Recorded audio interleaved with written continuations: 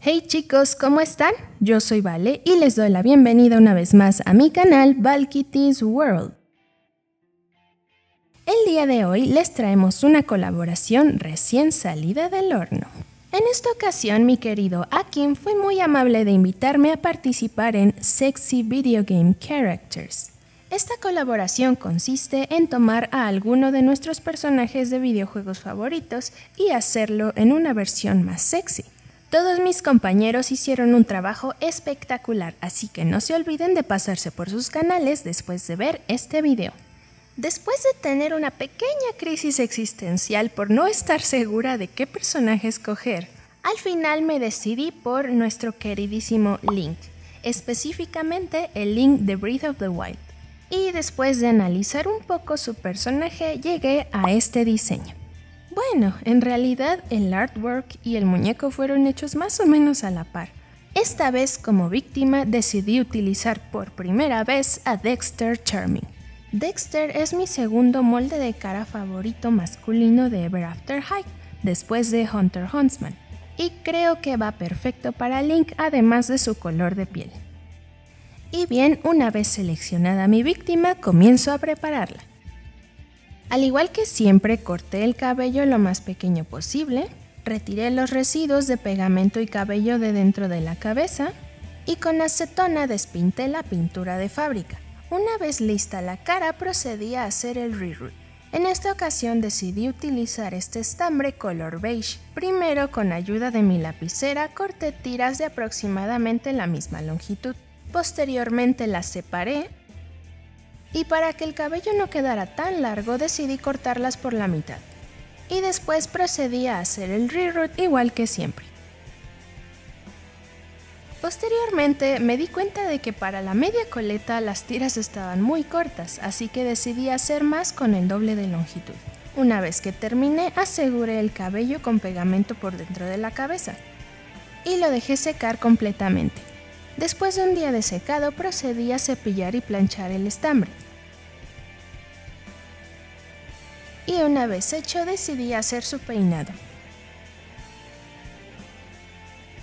Ya que en mi diseño dejé el torso completamente visible, decidí lijar minuciosamente todas las imperfecciones.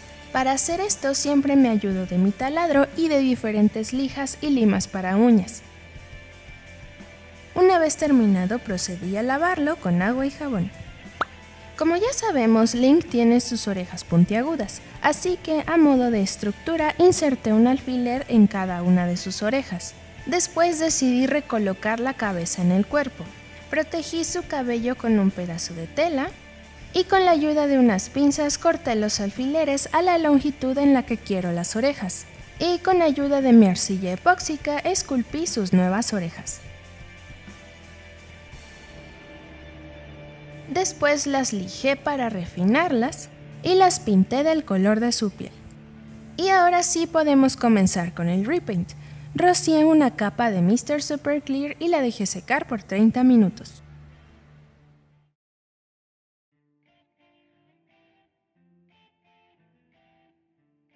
The Legend of Zelda Breath of the Wild es el decimonoveno título de la saga homónima, lanzado para las consolas Wii U y Nintendo Switch fue publicado el 3 de marzo de 2017 a la par del lanzamiento de la consola Nintendo Switch. Este juego cuenta con un mundo abierto, es decir, Link, el protagonista, se podrá mover libremente por los enormes escenarios que presenta el juego, de forma que si ve cualquier localización al horizonte será capaz de alcanzarla, dando al jugador una sensación de libertad y exploración fascinantes. El juego comienza con una misteriosa voz que se dirige a Link para que despierte de un sueño profundo. En ese momento, Link despierta de un letargo de 100 años en un recipiente cubierto de líquido similar a una cámara de criogénesis, en un lugar ancestral llamado Santuario de la Resurrección. En esa misma habitación, el héroe encuentra un objeto llamado Piedra Sheikah en un panel de control muy antiguo. Más adelante haya un par de cofres que contienen una camisa y un par de pantalones antiguos. Antes de salir del santuario, la misma voz le informa que él es la luz que debe hacer brillar a Hyrule una vez más. Fuera del santuario, Link encuentra un mundo inmenso y construcciones reclamadas por la naturaleza.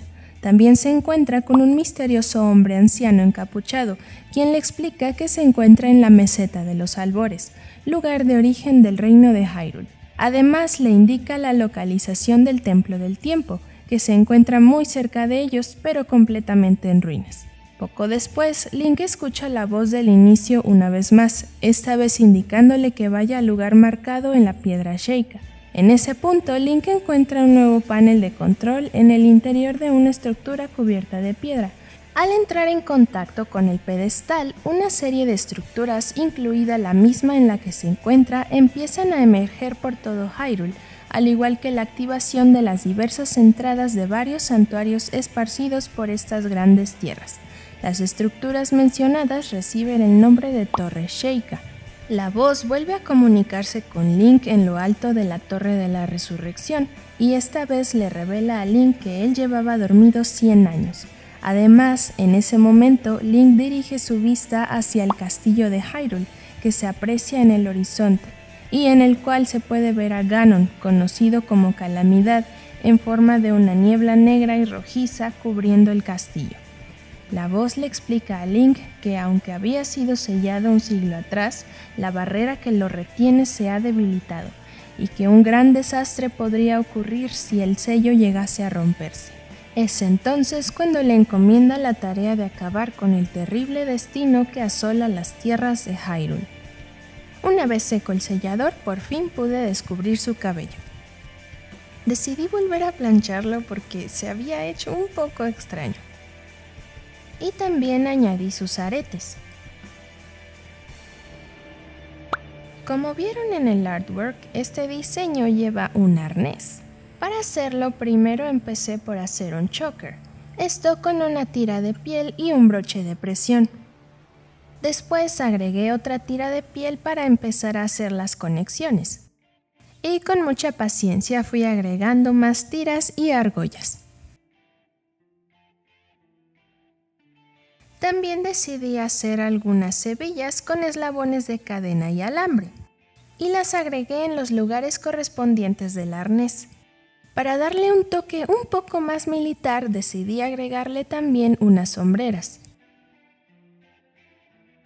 Y también decoré con un poco de cadena. Y para darle el toque de cuero tachonado utilicé pintura inflable. Una vez seco pinté todo de negro y después con plateado. Y con esto el arnés queda listo. Con la misma técnica decidí hacer también un cinturón. Y utilicé este pantalón de Alistair Wonderland porque ya era perfecto para Link. También tomé estas dos pulseras de Hunter Huntsman para hacer los guantes. Decidí pintar las manos directamente con acrílica y le di el mismo tratamiento de pintura a las pulseras. Y con esto los guantes quedan listos. Posteriormente decidí hacer unos protectores para sus brazos. Con la misma piel sintética corté las piezas y las cosí. Y después les añadí ojillos para poder sujetarlas con hilo de cáñamo. Como las botas de Alistair también ya eran perfectas para Link, decidí utilizarlas. Simplemente les di un toque de pintura para que fueran más detalladas.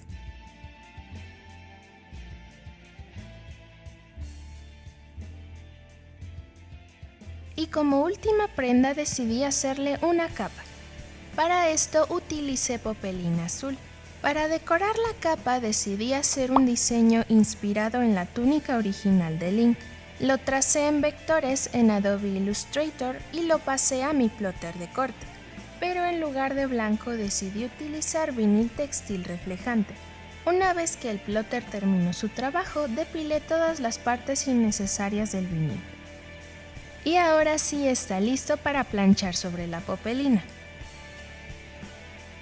Una vez planchado, tracé el patrón de la capa en el reverso y decidí añadir alambre en la bastilla para poder hacer la capa posable.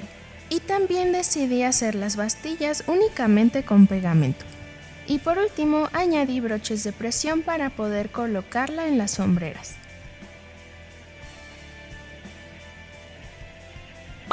En esta ocasión mi novio fue muy amable de imprimir para mí el escudo iliano y la espada maestra. Para trabajarlos decidí hacer algunos pequeños ajustes. Primero, para cubrir la parte de atrás del escudo decidí utilizar cartón batería, pegándolo directamente con pegamento universal. Después tracé el contorno del escudo a un centímetro, pero sentí que estaba muy grande, así que al final lo reduje a medio centímetro. Posteriormente mezclé más arcilla epóxica y rellené el espacio entre el cartón y el escudo. Una vez curada la arcilla, lijé todo para obtener una textura más suave. Y decidí pintar la parte de atrás con color café, aunque después me arrepentí. Y para simular los clavos volví a utilizar mi pintura inflable. Una vez seco, pinté todo el escudo en sus colores correspondientes. Y protegí la pintura con barniz brillante. Y por último volví a decorar la parte de atrás junto con las agarraderas. Y ahora continúo con la espada maestra. Como la impresión de la hoja no salió completa, tenía que esculpirla, porque no me gusta desperdiciar. Para esto pegué un alambre que conecta a todas las piezas de la espada. Lo corté al largo deseado y comencé a esculpir el resto de la hoja. Una vez curada la arcilla, la lijé para que quedara plana. Posteriormente dibujé la parte donde iría el filo. Y volví a lijar esta vez en diagonal. Así hasta obtener la forma correcta de la espada, que quedó muchísimo mejor de lo que esperaba si le soy sincera. Después pinté cada pieza por separado y pegué todas las piezas con pegamento epóxico.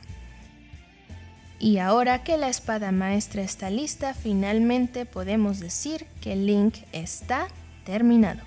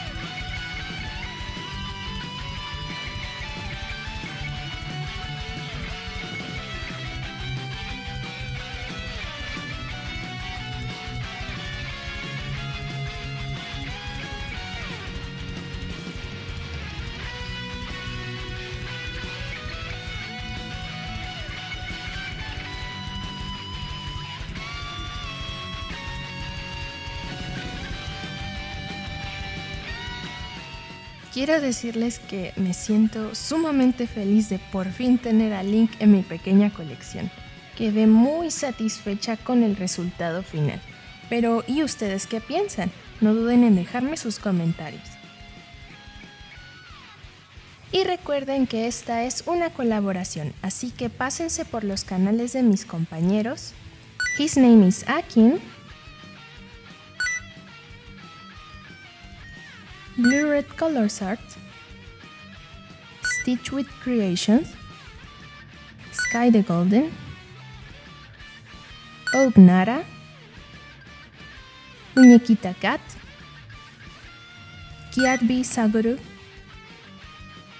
Harley's Dollhouse, H. Ali Crafts, New Dolls. Y Artisan. Todos y cada uno de sus proyectos están más que increíbles, así que vayan a darles mucho amor. Y una vez más, muchas gracias a Kim por la invitación. Por supuesto, no se olviden de dar like y de suscribirse si desean ver más de nuestros trabajos. Y bien, eso sería todo por hoy chicos. Nos vemos en el próximo video. Bye bye.